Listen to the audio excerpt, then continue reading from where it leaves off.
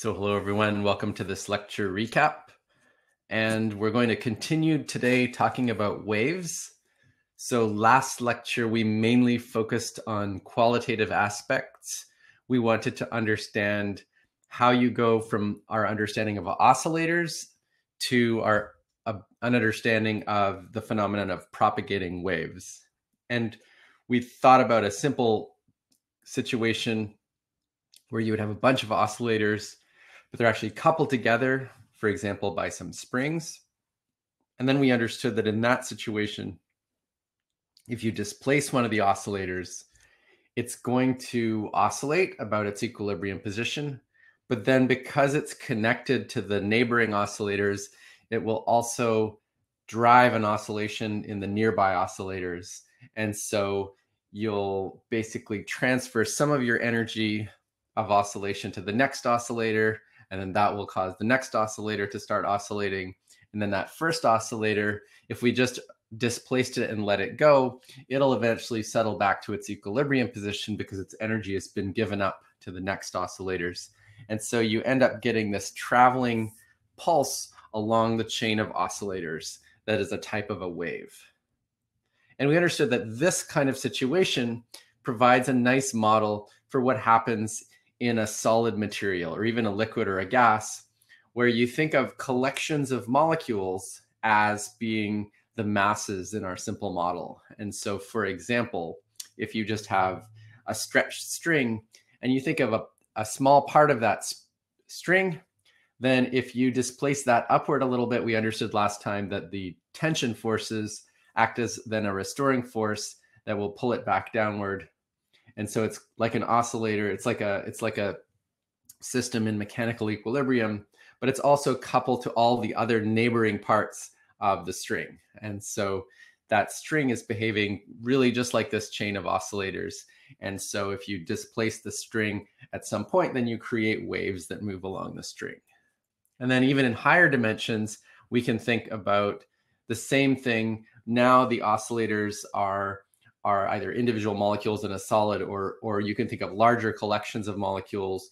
And so if you displace those so for example when this brick hits the ground then the bottom layer gets compressed. And so then that bottom layer of molecules is is well number one feeling a restoring force from the molecules above it but also it's pressing on the molecules above it through newton's third law. And so then those get compressed and then the next layer gets compressed. And so you end up generating these kinds of waves throughout the solid traveling from the bottom to the top and then they can bounce back and you end up with a vibration. Okay so mathematically we then talked about how do you describe one of these waves? And we focused on the simple situation of one dimensional waves. So we could imagine that we're talking about a stretched string there's one position direction, which we're going to call X along the string. And then if we want to describe what is the wave doing at any time, then we have to give some function of X. So that would be this D of X. And there would be a function for time equals zero and a different function for time equals one and a different function for time equals two. And you see in this simple example, these functions correspond to a particular wave shape and then the, that just moves to the right at a certain velocity. So that's not always true in realistic waves. Sometimes the wave shape itself spreads out as the wave travels along. And so in general, we basically just need some function of two variables where plugging in some particular value for time, then you're left with a function of one variable and that gives you your shape. And so we're going to talk today about what kind of a function would correspond to this simple behavior of a wave just moving to the right without changing its shape. But we're going to talk about something even more specific today, which is a very important type of wave, comes up in a lot of applications. And that is the case where the shape of the wave not only remains the same as it moves, say, from left to right, but the shape of the wave is a sinusoidal function. Okay, and now this is different than the kind of sinusoidal functions we were talking about before, in that we were always talking about functions of time. So when we had A cos omega t plus phi, that was talking about an individual oscillator oscillating up and down. And we were plotting the time dependence of the height or the displacement for the oscillator. What I'm showing here is not the time dependence. This is the spatial dependence of a certain kind of a wave, for example, on a string. And so what it's showing is that as you go along the string, then the string is displaced upward at some points and downward at other points. And the actual shape of the wave looks like a sine function. Okay, so kind of like water waves, you're familiar with the, the basic shape of water waves that the surface of the water is displaced relative to the flat plane in a kind of a sinusoidal shape. All right, so we're going to talk about this and the time dependence. So in the traveling wave, this thing would be moving to the right at a certain velocity. Okay, and that velocity is then one of our key parameters when we're talking about waves. We'll see how the velocity is sort of determined by the properties of the system that you're talking about. Another new parameter relative to when we were thinking about oscillations is the wavelength. And so that is just the physical distance between one peak of the wave and the next peak of the wave. So these are kind of the new parameters that we that we're going to think about. And then you still have the same kind of parameters that relate to the time dependence. So as this wave moves along, if I just look at one place on the string or on the surface of the water or whatever kind of wave I'm, I'm looking at, if I just focus on one location and look at what that is doing as a function of time, then in this simple situation where you have a sinusoidal wave, that one point is just going to oscillate up and down. And so you can imagine as this wave here moves to the right, right now the point at the origin is at its highest place. But then as the wave moves, it's going to go down and then up and then down and up and up and so forth. Okay. And so we can still assign a period to this wave, which is just that period of oscillation for that one point. And the period is the same wherever you look on the wave. And you can take the inverse of that to talk about the frequency of the wave. Okay, so the first thing I want to do today is help you understand a very important relationship that we have between the velocity of a wave and the period or frequency of the wave and the wavelength. So it turns out that these things are not all independent of each other. Okay, and here to help us understand this, we have Baby Shark. So have a read through this question. It's a situation where baby shark is floating in the water. He happens to be right now at the top of a wave.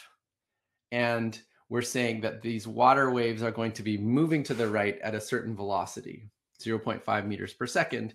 And so as a result, baby shark is going to be bobbing up and down. And so your question is just a really basic question. At what time will baby shark next reach a maximum height? Okay. So pause the video, think about that for a moment, choose one of these answers, and now we're going to talk about it. Okay, so which color am I going to use? I had a nice green one somewhere. Oh, there it is. I'm going to use emerald green today. So here's our picture. We've got baby shark and the wave is moving along at 0.5 meters per second. And so to answer this question, we really don't need to use anything beyond like really simple kinematics, just the relationship between distance and speed and time. Because what you see is that as the wave moves to the right, the shark will be at the maximum position again, basically when this wave crest reaches the position of the shark. Okay, so if I were to draw um, the wave at a slightly later time, then it'll look like this and the shark will have gone down to the bottom. And then at a later time than that, this wave crest will have moved all the way to the shark. Okay, so it moves, it moves, it moves, and then the shark will have gone back up to the top. Okay, and so the amount of time before the shark is back up to the highest position is just going to be the amount of time that it takes for this wave to move three meters. And so we want to take that the time is equal to three meters divided by this velocity, 0.5 meters per second. And so that's going to take six seconds. And so then for this question, the answer is D. So that was really straightforward, I think, but it tells us something very important about waves. Okay, so what it tells us in general is a relation between the period. That's what we calculated in that question. The period is how long it takes for the shark to be at the top of the oscillation and then come back to the top of the oscillation again. And what we did was we said that the period was equal to that wavelength divided by the wave velocity. So we just derived this crucial formula about waves relating period, wavelength, and velocity. And so that's something that you'll probably use over and over again in this course and other courses. Another version of that, which is maybe even more common, is to write the period as one over the frequency. And so then our relation that we just derived gives us a relation between velocity, frequency, and wavelength. Okay, so V equals lambda times F. And so that's very commonly used, for example, when you're talking about electromagnetic radiation. If you have like the five gigahertz frequency radiation that's used for some Wi-Fi signals or, or cell phone signals, and you wanted to figure out what is the wavelength of that wave, well, then you would just use this formula where V would be the speed of light and you use your frequency and then you can calculate the wavelength. So this is a good thing to remember. Uh, these three quantities are not all independent of one another. So next we're going to try to understand this function that I was talking about, d of x comma t. I want to understand what that is for one of these traveling sinusoidal waves. And our first step is going to be to understand what is the wave, how do we write the wave displacement just at one particular time. So I'll, I'll start out, imagine that we take a picture of our wave at time equals zero, we plot out the displacement as a function of position at that time. And then we want to know what is this function d of x at t equals zero. Okay, So take a moment to think about this, and then we are going to go through it.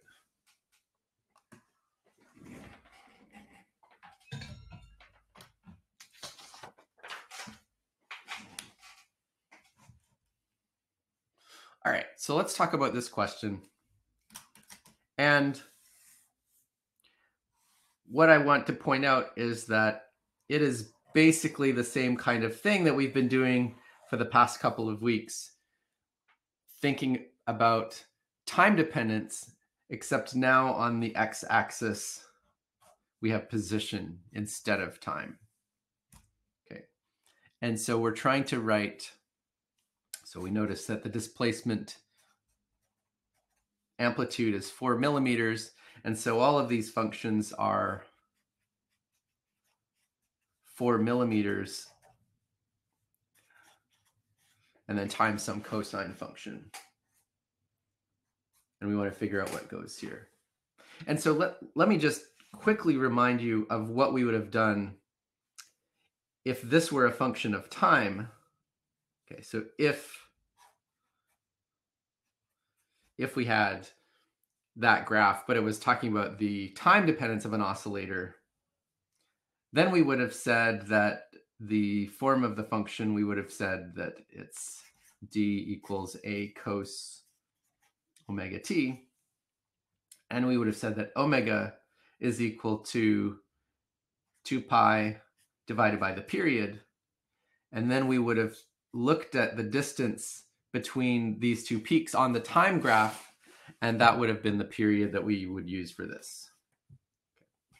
And so here, the mathematics is exactly the same. But instead, we have x as our variable.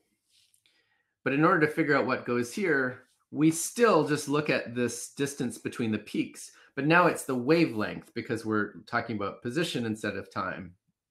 And so we actually write a different thing, which is d equals a times cos and then I'll just call this number in front of x a different thing because it's no longer a frequency, it's multiplying x. It's the thing that we called wave number. So this is the this is the thing that we're trying to find in this question is the wave number. And the way to get it is then to just take 2 pi and divide it by the wavelength. And so I'll explain I'll explain why that is in a moment. But let's just do it for this question. So we notice that in this question, lambda is equal to one meter. And so in this question, our answer is C, that it's 2 pi over 1 meter. Okay, but let's understand why this is. So we, we kind of use the analogy with our time-dependent graphs. Why is this the right answer if we want to just understand this from first principles? And so the reason that we can understand this to be the answer in general is that we notice that after one wavelength, we go back up to the top. So it's a cosine function. But what we want is if we plug in x equals the wavelength, then the thing inside the cosine should be 2 pi. Okay, so because that's what it would be if you've gone through a full period. And if we plug in x equals 2 lambda, then we want to get 4 pi. And so you could see that if we have this form of the function, cosine of 2 pi divided by lambda, and then we plug in x equals lambda. Once, once you've gone through a full wavelength, then you're back at cosine of theta equals 1. And then as you go through another wavelength, again, you're back at cosine theta equals 1. Okay. So you can use that direct kind of first principles approach to understand this, or you could use the analogy with frequency and period. Okay. So the bottom line is that we just understood how to figure out what we're calling wave number.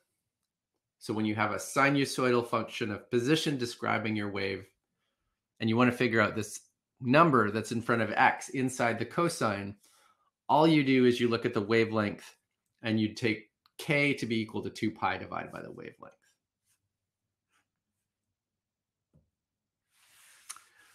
All right, so our next goal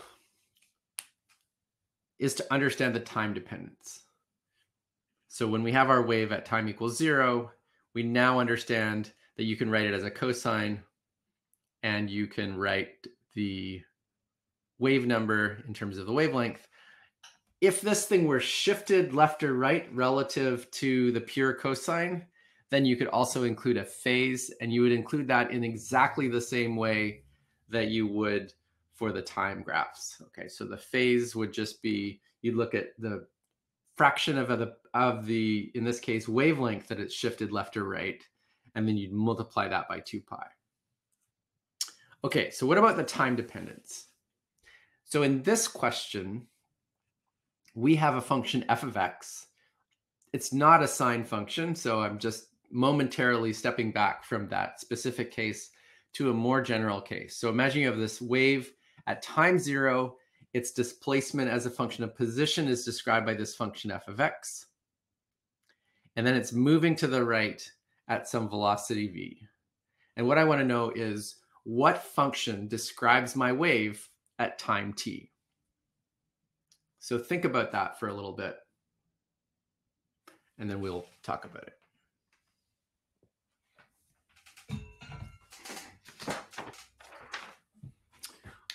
All right, so let's go here. What we have is that at time zero, the function is f of x. And then we can say that at time t, the wave has moved by a certain distance to the right. What is that distance? It's just the velocity times this time. And it's moved to the right. And so in this case, our function is the same function. It's the same shape, but it's shifted to the right by an amount vt. And so instead of f of x, then we just use like our basic mathematics to recall that if I want to shift a function to the right, I just subtract that amount from its argument. So instead of f of x, I get f of x minus vt. It's the same thing when we were talking about adding or subtracting phases. Okay, so shifting to the right, you get a minus sign. Shifting to the left, you get a plus sign. So the answer for this one is E. That d of x and t is f of x minus vt.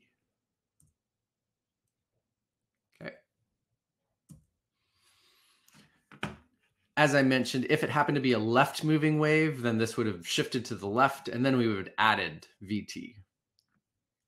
So using that idea and using our understanding that, say, for this wave here, the initial function describing the wave is a cosine. So we can now put these things together and say that for a traveling sinusoidal wave, where the initial shape is cosine 2 pi over lambda x, then at some later time, this is going to be the function of x. So you just have to replace x with x minus vt. And now we have the entire, this, we have this function that tells us the displacement at any time at any position. And if it were moving to the left, then it would be x plus vt. Okay, so that's one way that we could write the wave. Let me just write, I'll just do a couple of steps of algebra here to show you a different way that's a little bit more common. So I'm going to start with a times cos 2 pi over lambda x minus vt. And then I'll just notice that I can expand things out. So first I'll write 2 pi over lambda times x, and then minus 2 pi v over lambda times t. And now I can remember our relation between velocity and wavelength and frequency. So if I insert that thing, then I get a times the cosine of 2 pi over lambda times x, and then minus 2 pi times the frequency times t, but what's even more common is to then just write that first thing, 2 pi over lambda, that's what we called k.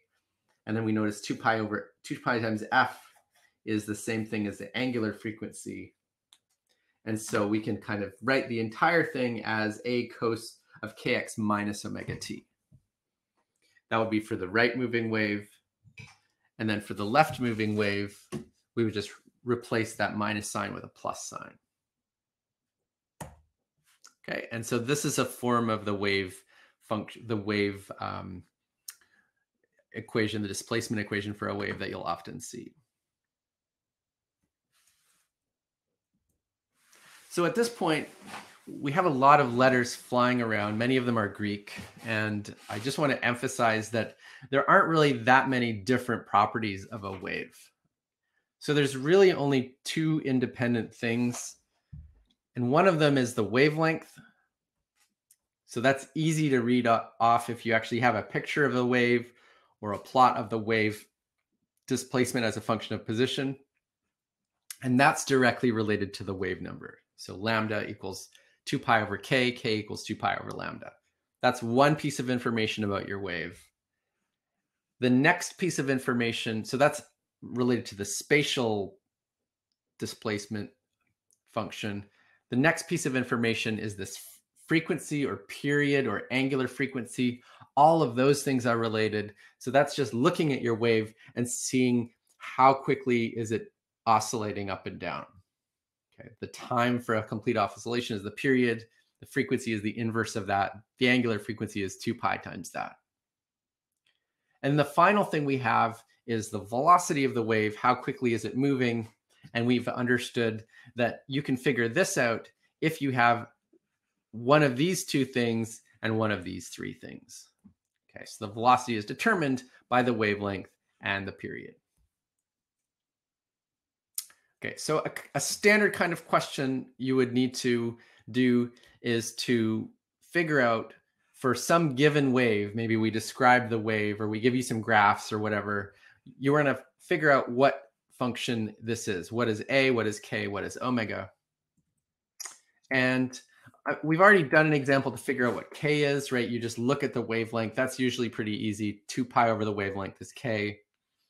And so here's a question that kind of allows you to complete the process. Of course, the amplitude is also very easy. You just look at how high does it go up relative to the zero position.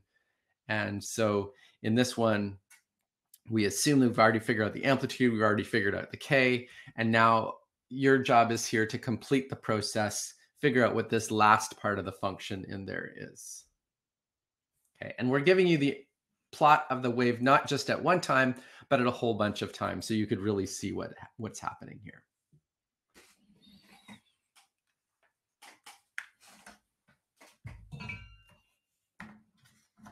All right. So let's do this. Um, okay, I barely even need to write anything down here. I'll start with our general form of the wave. And so once I write this down, what I realize is that in this question, all we need to determine is the omega. And in order to determine omega, we can use that that is related to the period by omega equals 2 pi over t. Now let's look at the period. So we have this wave, and to find the period, what we can do is focus on one specific spatial location. I'll focus on x equals 0 here, and I just want to watch that location and see how long it takes for one complete oscillation. So at time equals zero, the wave at x equals zero is at its maximum displacement. And then it falls down at time equals three, and then to the to the sort of maximum displacement in the other direction at time equals six. And then it comes back up to zero at time equals nine. And then finally at time equals 12 seconds, we're back up to the top. And so t is 12 seconds from the graph, which is just the period. It's like the oscillation period for a single point in X. So I could have equally well looked at this point at one meter. That also decreases to zero and comes back up to the top at 12 seconds. Or I could have looked at this point at 0.5 meters. Doesn't really matter. You're going to get the same period regardless of which point you're looking at. So plugging things in here, what we find is that omega equals 2 pi over 12 seconds. And then that would be answer number C here. So that's the correct answer for this question.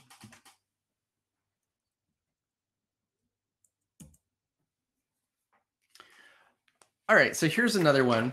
We're back with Baby Shark. We've also got Duck. Duck is watching Baby Shark, and Duck is very interested in Baby Shark's vertical velocity. So Duck notices that Baby Shark is bobbing up and down as this wave passes by, and Baby and Duck wants to figure out what is the maximum speed that Baby Shark is going to have during this bobbing up and down. So think about that for a little bit and see if you can come up with the answer.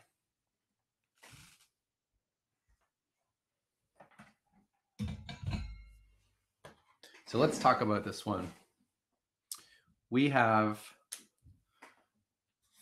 basically the only thing we need to realize is that we can do the same thing as we've been doing all along. So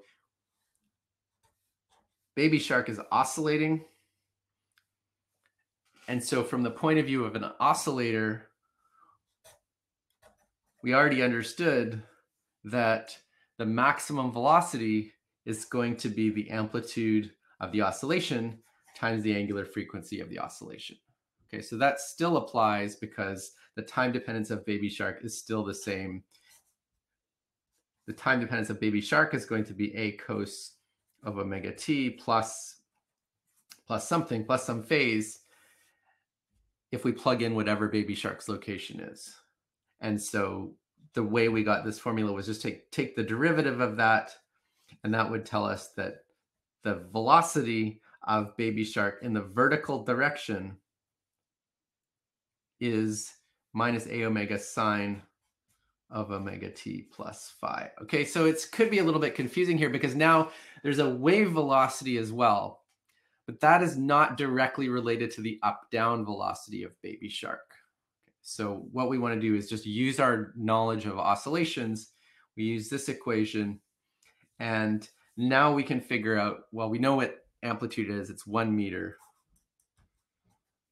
What about omega? So we just use the same kind of logic that we had previously. Omega would be 2 pi over the period. Um, but now we can use the, we can figure out the period using the wavelength and the velocity. Okay, so we have that the period is equal to, like in our very first question from today, the wavelength divided by the velocity. And so that gives us that omega is 2 pi times v divided by lambda once I plug that in. And now I just calculate everything. So that's 2 pi times 0.5 meters per second divided by 3 meters. And so our V max is equal to 1 meter times that 2 pi five, times 0.5 meters per second divided by 3 meters, whatever that comes out to. So pi over 3 meters per second. Okay, so you see it's different. It's not really the same thing as this velocity, which is the velocity of those wave crests. The up and down velocity is something that involves not only that velocity, but also how much amplitude you have and uh, what is what is the wavelength. Um, okay, so I, I just have a couple of bonus slides here that we didn't talk about these in the regular class, but since I have them here, might as well go through them. Uh, extra question, which graph rep represents the duck's vertical displacement as a function of time? So in this question, you want to go from the picture, which is like a snapshot graph. So the picture is like the wave at some instant in time.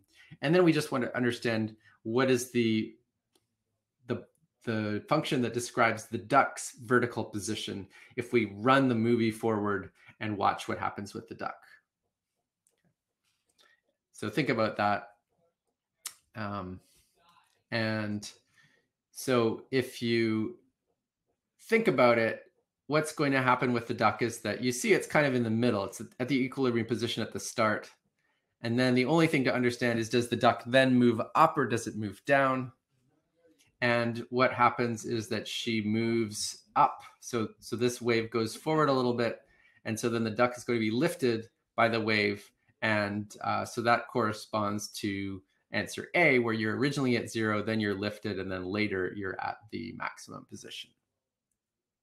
Okay, and so that's kind of a standard kind of question that you'll have. We had one last class where you're going from the snapshot graph to the history graph.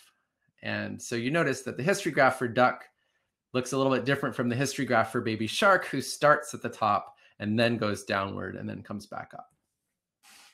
So that's all for today next week we're going to do several interesting applications of wave physics and so we'll get into that on monday one thing i mentioned to the regular class is that so today's lecture is kind of the, the the end of what you can expect to see in the written portion of our exam but next week we'll go through a couple of concepts that could appear in the multiple choice so next week's lectures are also important But um, in terms of the written portion, in terms of like what's showing up on your homework this week, that's basically all been covered now um, after today's lecture.